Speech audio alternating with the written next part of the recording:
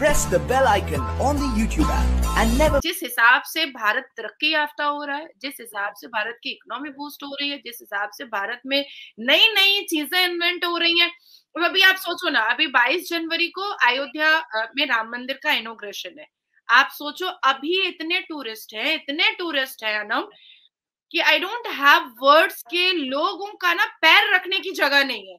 अब आप सोचो, उस इनोग्रेशन के बाद वहाँ पर कितने टूरिस्ट होंगे? अब आप सोच के देखो कितने टूरिस्ट होंगे। और सिर्फ़ भारत में नहीं भारत के जैन जैन मज़हब बौद्ध बौद्ध मज़हब जो धर्म के लोग हैं। कल मैं गुरुद्वारा गई हुई थी वहाँ का बहुत बड़ा लंगर खाना था तो वहाँ पर मुझे इनवाइट किया गया तो मैं लंगर लंगर खिला रही थी तो वहाँ पर भी लोग कह रहे हैं दीदी 22 जनवरी को आइएगा हम लोग दिया जलाएँगे। तो तो जो पंजाबीज हैं सिख हैं उन्होंने भी मनाना है 22 जनवरी।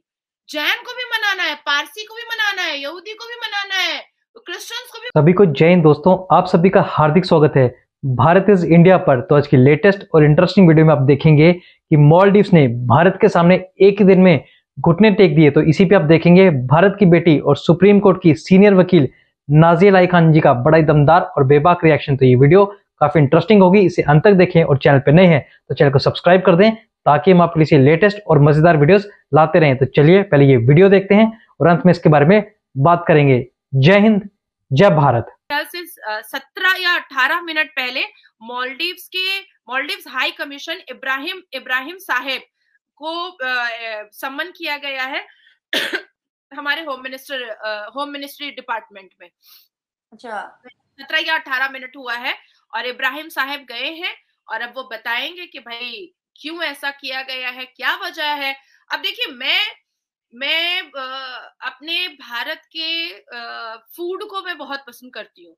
तो मैं जहाँ भी जाती हूँ, मैं तारीफ़ करती हूँ कि भारत का जो फ़ूड है, वो सरसों सरसों का साग, मक्के की रोटी वाव मैं तो मतलब एकदम फ़ैन हो जाती हूँ। I don't like K F C and McDonald's I really like कि मुझे खाना जो है, वो भारतीय खाना जो मिले, वो मुझे बहुत पसंद है। इवन मैं बिहार जाती हूँ तो मैं तो सत्तू की रोटी और प्याज का बिरयान खाती हूँ। मुझे, मैं कहती हूँ कि लिट्टी चोखा बनाओ। वो फैशनेबल खाना आई रियली डोंट लाइक चावल, दाल और आलू के भरते में जो मज़ा है तो वो मज़ा कहीं और नहीं है। Even I don't like Mughlai food मुझे नहीं पसंद है। हाँ but I like sea food मुझे मुझे सी फ़ूड बहुत पसंद है। तो जो चीज़ें हमें पसंद है, वो तो हम कहेंगे ना। और वो भारत के प्रधानमंत्री हैं तो वो अपनी कंट्री का अगर प्रमोशन नहीं करेंगे तो क्या करेंगे? ऑब्वियसली है ना उनकी फ़र्स्ट प्रायोरिटी तो उनकी कंट्री है तो इसमें मॉलडीव्स को बुरा मानने की क्या ज़रूरत थी? अब इससे क्या हुआ कि मॉलडीव्स और चाइना के जो बहुत अच्छे संबंध जो दिखाई दे रहे थे वो चाइना गुस्से में आ गया कि भाई ये तो भारत ने एक ऑप्शन दे दिया भारत के लोगों को। कि आ जाओ भाई Maldives why Maldives why not Lakshadweep तो अब अब तो यहाँ की इकोनॉमी में बहुत प्रॉब्लम होगा जो अढ़ाई लाख तीन लाख लोग आकर के एकदम अंधे की तरह पैसा उड़ाते थे और समुन्द्र की तरह पैसा उड़ाते थे वो तो प्रॉब्लम हो गया। और अचानक से तीन लाख टूरिस्ट का बंद हो जाना ये मॉलडीव्स के इकोनॉमी के लिए बहुत बड़ा प्रॉब्लम हुआ है इसको वो समझ रहा है। अब चाइना को अगर धक्का पहुँचता है तो एकदम मतलब क्वाइट नेचुरल है कि भाई पाकिस्तान को तो प्रॉब्लम हो ही जाएगा क्योंकि चाइना चाइना तो अब्बा है पाकिस्तान का। भले ही चाइना इस्लाम की कितनी भी बेहुरमती कर दे कितनी भी बेइज्जती कर दे उससे कोई फ़र्क नहीं पड़ता है अ, पाकिस्तान को। लेकिन चाइना को कोई कुछ ना बोले। लेकिन हमने भी बीड़ा उठा रखा है। हमने भी बीड़ा उठा रखा है चाइना को उसकी औकात याद दिलाने के लिए दिलाने की। तो और जिस हिसाब से भारत तरक्की याफ्ता हो रहा है, जिस हिसाब से भारत की इकोनॉमी बूस्ट हो रही है, जिस हिसाब से भारत में नई नई चीज़ें इन्वेंट हो रही हैं और अभी आप सोचो ना, अभी 22 जनवरी को अयोध्या में राम मंदिर का इनोग्रेशन है। आप सोचो, अभी इतने टूरिस्ट हैं, इतने टूरिस्ट हैं अनम कि आई डोंट हैव वर्ड्स के लोगों का ना पैर रखने की जगह नहीं है। अब आप सोचो, उस इनोग्रेशन के बाद वहाँ पर कितने टूरिस्ट होंगे? अब आप सोच के देखो कितने टूरिस्ट होंगे। और सिर्फ़ भारत में नहीं भारत के जैन जैन मज़हब बौद्ध बौद्ध मज़हब जो धर्म के लोग हैं। कल मैं गुरुद्वारा गई हुई थी वहाँ का बहुत बड़ा लंगर खाना था तो वहाँ पर मुझे इनवाइट किया गया तो मैं लंगर लंगर खिला रही थी तो वहाँ पर भी लोग कह रहे हैं दीदी 22 जनवरी को आइएगा हम लोग दिया जलाएँगे। तो तो जो पंजाबीज हैं सिख हैं उन्होंने भी मनाना है 22 जनवरी। जैन को भी मनाना है, पारसी को भी मनाना है, यहूदी को भी मनाना है, क्रिश्चियंस को भी मनाना है, बाकी मुसलमानों को भी मनाना है, सिर्फ़ सुन्नी मुसलमान को नहीं मनाना है तो कोई फ़र्क नहीं पड़ता है। तो आने वाले वक्त में अयोध्या राम मंदिर, वही इकोनॉमी बूस्ट कर रहा है। कितना बूस्ट कर जाएगा? अभी कर रहे हैं भाई।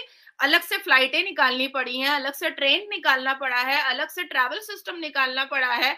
तो ये तो इकोनॉमी बूस्ट हो रही है ना, जो, भारत की इकोनॉमी बूस्ट हो रही है। तो जो लोग बोलते थे कि मंदिर बनाओगे तो क्या ही हो जाएगा? किसी को नौकरी मिल जाएगी क्या?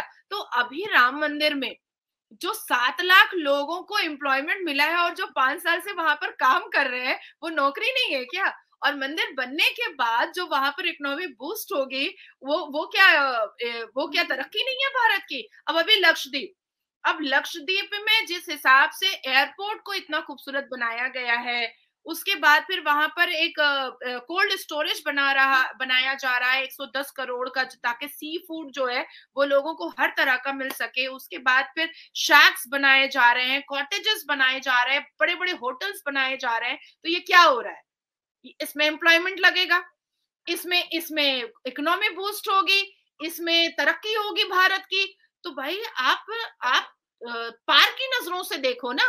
अब मुसलमानों को क्या है कि बस हमने कैसे भी करके थोड़ा सा खेची चलाना है। भले ही हम हम अपने अपने खतना के लिए खैची फैक्ट्री में बना नहीं पाए इन्वेंट नहीं कर पाए, लेकिन लेकिन खैची तो चलाएँगे।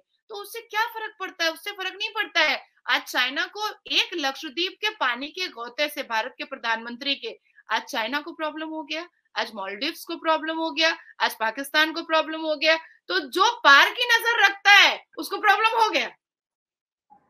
और जो झगड़े और जो झगड़े की नज़र रखता है वो बस इसी पर रह गया कि अरे भारत के प्रधानमंत्री तो छुट्टियाँ मना रहे हैं वो जाहिलों वाली बात करके निकल गया। लेकिन जिसको समझ में आया कि भारत के प्रधानमंत्री ने एक्चुअली में क्या किया है? किसका पत्ता काट दिया है? वो वो देश देखो कितना उत्तेजित हुआ। बाद में उनको ऐसा फील हुआ कि भाई हमें ऐसा नहीं करना चाहिए, नहीं तो रिलेशनशिप खराब हो जाएँगे। और अभी इस सिनारियो में, इस सरकमस्टांसेस में जब ग्रुप सेवन हमारे भारत के प्रधानमंत्री के हाथ में है जी ट्वेंटी हमारे भारत के प्रधानमंत्री जी के हाथ में है आई मैक कॉरिडोर जैसा एमओयू हमारे भारत के प्रधानमंत्री जी के हाथ में है तो उनको ऐसा लगा मॉलडीव्स के प्राइम मिनिस्टर को कि भाई इन्हीं लोगों को सस्पेंड कर दो अपने ही अपने ही मिनिस्टर्स को सस्पेंड करो और मोदी जी से रिलेशन ठीक कर लो। सो आई फील वेरी और इस टाइम जो जहाँ दुनिया रो रही है वहाँ मोदी और इंडिया हंस रहा है। ऐसा नहीं है। देखिए ऐसा है कि हम कभी भी किसी के ये हमारी अपब्रिंगिंग है। ये हमारा कल्चर है। हम किसी के सिसकने पर, हम किसी के रोने पर बिल्कुल नहीं हँसते हैं। हाँ एक्सेप्ट पाकिस्तान, क्योंकि पाकिस्तान को अभी भी देखो, हमारा डिफेंस जो है इतना स्ट्रांग है, इतना स्ट्रांग है कि हम चाहे तो चार दिन में पाकिस्तान को कब्रिस्तान कर सकते हैं। ऐसे ही ब्लोच आपसे नाराज़ है, गिलगित आपसे नाराज़ है, आज़ाद कश्मीर आपसे नाराज़ है। आपसे तो आधा पाकिस्तान नाराज़ ही चल रहा है। तो आपको खत्म करने में कितना समय लगेगा? एक घर में अगर चार आदमी है और तीन आदमी फूट डाल चुका है तो एक आदमी को खत्म करने में कितना समय लगेगा? लेकिन हम ऐसा नहीं कर रहे क्योंकि पाकिस्तान अपनी कुरनीति और अपनी छोटी सोच, अपनी जहालत, अपनी टेररिज्म माइंड की वजह से खुद ही खत्म हो रहा है, खुद ही खत्म हो रहा है। आज इरेलीवेंट है पाकिस्तान। पाकिस्तान को कोई देखना नहीं चाहता है, पाकिस्तान को कोई सुनना नहीं चाहता है, पाकिस्तान को कोई समझना नहीं चाहता है कि भाई अब अब ऐसी हालत हो गई है कि पूरी दुनिया सोचती है कि भाई तू मर, जी, जो करना है कर, हमें कोई लेना देना ही नहीं है। हमें कोई मतलब ही नहीं है पाकिस्तान से। आपके लोगों को बल्क के हिसाब से भेड़ बकरियों की तरह, गधेड़ों की तरह आपके आपके लोगों को डिपोर्ट किया जा रहा है। चल फुट, जा वापस पाकिस्तान। तो अभी आप सोचो कि ज़ुबान लंबी रखने से या ज़ुबान तेज रखने से जीत नहीं होती है। कभी नहीं होती है। हमारे यहाँ भारत में तो लोग बड़ी शांति से रह रहे हैं। पर देखिए, कितनी शांति से चार फोटोग्राफी, भारत के प्रधानमंत्री जी की, सिर्फ़ चार फोटोग्राफी।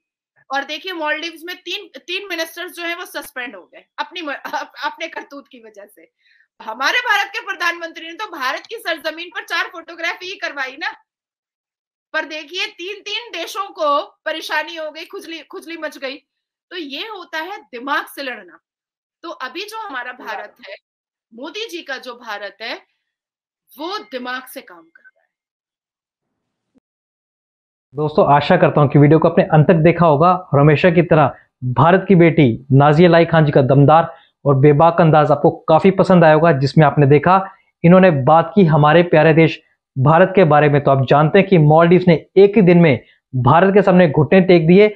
मॉलडीव को इतना बैकलैश मिला कि उसे अपने वो तीन मंत्री जिन्होंने भारत, भारतीयों के बारे में और खासकर भारत के प्रधानमंत्री के बारे में काफ़ी सारे अपशब्द कहे थे, उन्हें सस्पेंड भी कर दिया गया है। और सबसे अच्छी बात यह रही कि पूरा भारत इसमें एकता के साथ सामने आया चाहे वो हमारे बॉलीवुड स्टार्स हों या फिर हमारे क्रिकेटर्स हों, जिनको हम काफ़ी इज़्ज़त और प्यार देते हैं। सबने आके मॉलडीव्स को मुँह तोड़ और करारा जवाब दिया। तो आशा करता हूँ वीडियो आपको काफ़ी पसंद आएगी इस पूरे टॉपिक के बारे में आपके क्या विचार हैं, आप अपने विचार हमें कमेंट सेक्शन में लिखकर ज़रूर बताएँ और एक बार फिर चैनल पर नए हैं तो चैनल को सब्सक्राइब कर दें ताकि हम आपके लिए लेटेस्ट और इंटरेस्टिंग वीडियोस लाते रहें। जय हिंद, जय भारत।